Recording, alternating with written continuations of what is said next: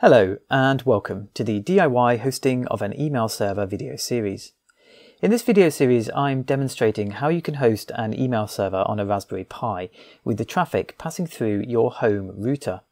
The idea being that if you have a router with admin access and you have a Raspberry Pi, you have all of the technology you need to host your own website and your own email server completely for free at home. In this video series, I'll also be showing how to ensure that the emails you send from your Raspberry Pi end up in your recipient's inbox and not in their spam box. This is a particularly challenging thing to get right, so I go through that extensively. I also want to mention before we get going that this video series is part of a larger video series covering how to host a website as well as an email server and how to properly set up a fully featured continuous integration environment for development on a Raspberry Pi. The reason I'm mentioning this is because the first part of the video series is setting up a WordPress website on the Raspberry Pi. And that covers some important prerequisites for this video series. For example, I show how to set up the necessary development environment that makes life a lot easier when you're working on your Pi. I show how to set up the security for your Pi so you can open it up to the world, and we also show how to do that through a router. I introduce Cloudflare for our DNS needs. So it's, it's probably worth, and there are many other things, it's probably worth checking that out uh, before you do this series. You don't have to, but it might make your life easier because I'm going to make some assumptions going through this video series now that you at least know how to use Cloudflare. you have already got a Raspberry Pi that's open to the world. You can SSH into it with an alias. Um, you know, you know how to use Visual Studio Code to SSH into the Pi so you can use it as a text editor, things like that. So it may be useful for you to go and have a look first, but you don't have to. Anyway, let's get going. So in the last video, I showed this slide, so I won't dwell on it for more than a minute at most. But what I want to show here is there are a lot of components, and in this video, we're going to focus on two of them in particular. One of them is the actual email server itself, which we're going to get installed, called Postfix.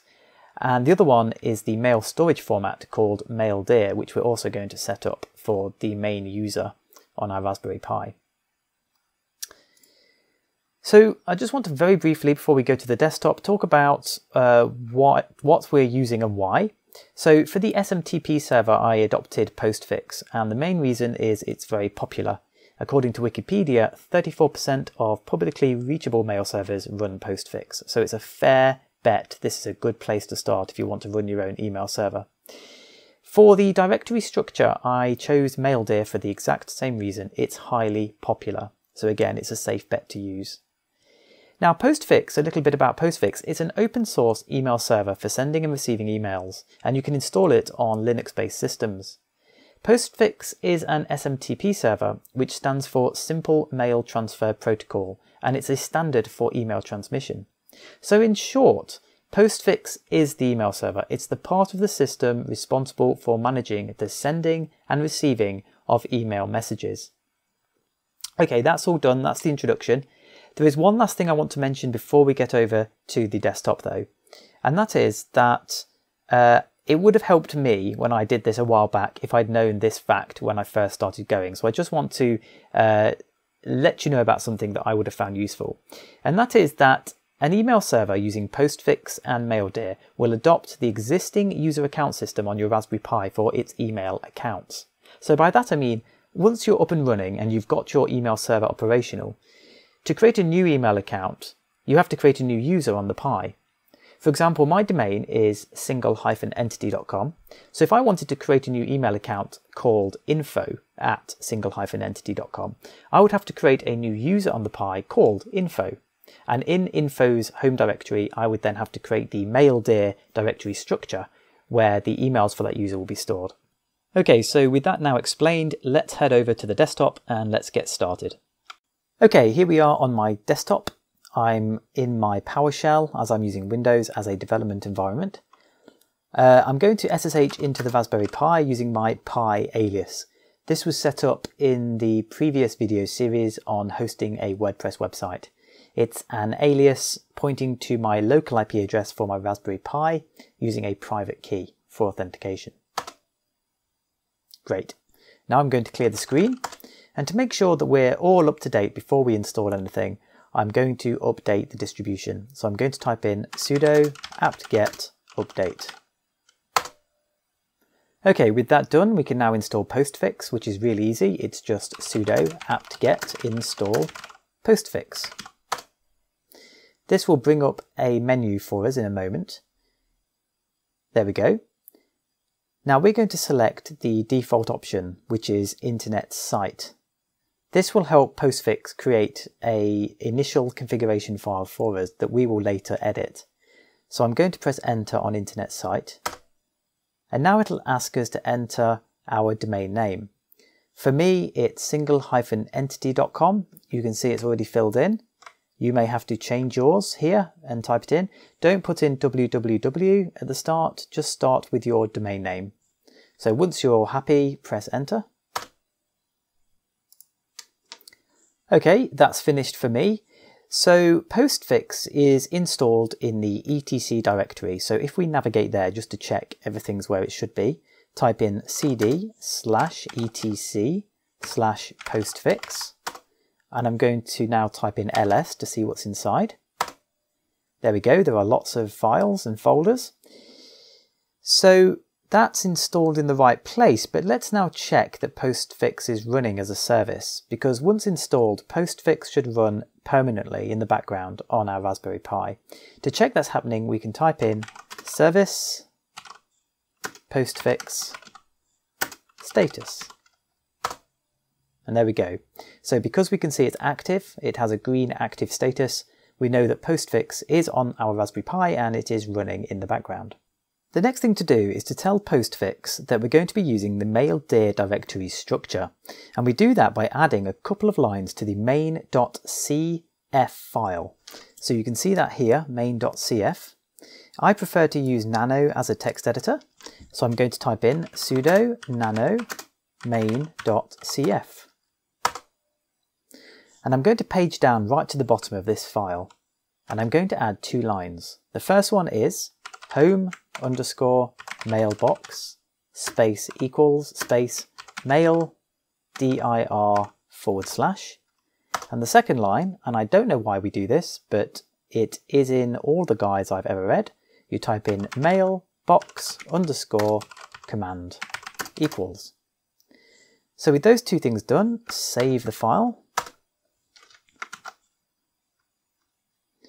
Okay, so now I'm going to clear my screen I like to keep things nice and clear as I go. Okay, so the next thing we're going to do is set up the MailDir directory structure. And to do that, we're going to use Dovecot. Dovecot is an IMAP server, and IMAP is what allows an email client like Thunderbird or Outlook to connect to an email server. It's basically what provides the access, including the security for that access, to your inbox and your outbox and your sent items and your junk mail. So you've got all of these directories and the IMAP uh, protocol is what allows you to communicate between the client, which is like Thunderbird or Outlook, and your email server. So we need to include a IMAP server and we're going to be using Dovecot. But as I say, Dovecot's also going to allow us to set up the MailDir directory structure for us as well. So let's now install Dovecot so we can get going with that. So you type in sudo apt-get install dovecot hyphen common and then dovecot hyphen imapd. Okay, so dovecot hyphen common and dovecot hyphen imapd. Okay, with Dovecot installed, it has provided us with the commands that will allow us to create the skeleton structure. So let's do that. Let's create the skeleton structure for our MailDir directory structure. So let's type in the following sudo mail dir make so sudo mail dir make dot dovecot forward slash etc slash skel that's going to be for the skeleton directory slash mail dir so that's going to create the parent directory press enter okay so with that done we can now use the up key to bring it up again and we're going to create the necessary folders that's going to store the emails. So we press up and then we're going to press forward slash. Then we're going to add a few folder names that you'll be very familiar with. So if you do the following, dot for hidden folder, drafts. Do it again. dot sent. Do it again, dot spam. Do it again, dot trash. Do it again, dot templates. There we go. So these are the commands we need to create our skeleton uh, MailDir directory structure. We're going to, in this uh, video series, use the Pi user in the first instance. So we're going to say that the user Pi will have an email account. So we're going to copy this skeleton structure over to Pi's home directory. So do as follows. sudo copy cp minus r etc skel mail dir and then space slash home slash pi slash. So we're going to copy that across and we're going to do it recursively. Okay, that's great. So let's just check it in there. So I'm just going to navigate to my home directory. This is the Pi's home directory and press ls. So what I'm looking for is mail dir. So there it is, cd mail dir. Oh, I can't get in. Why is that? So basically, the user, Pi, doesn't currently own the mail dir directory.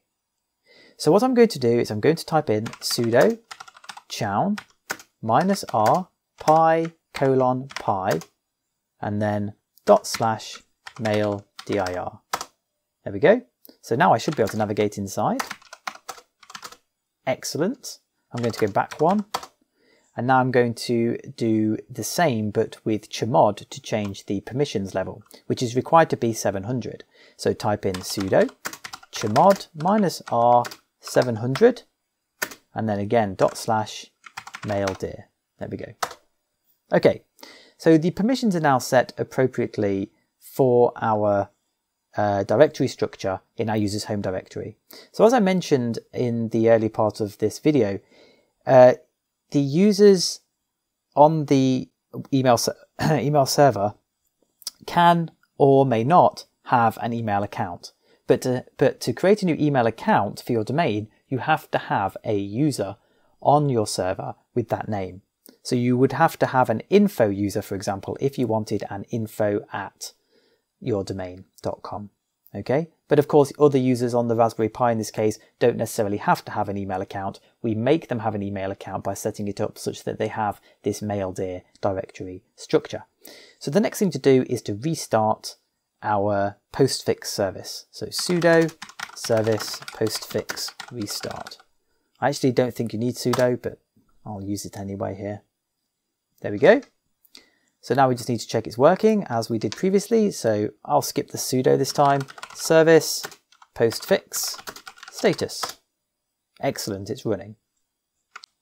So with that, this video is coming to an end. We've set up the maildir directory uh, structure, we've created a skeleton so that we can use it again and again for more users uh, when we wish to add them to the list of email accounts. Uh, and in the meantime, we've added it just to the Pi user.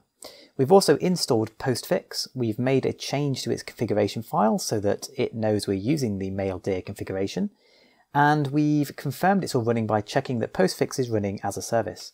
So we can move on from this video knowing that Postfix as an email server, an SMTP server is running as it should with the MailDir directory for the Pi user in place and ready to go. So I hope you found this useful. If you have, please do like the video and please do subscribe to my course. It's my only metric for whether anybody's actually interested. So that would be great and I will see you in the next video.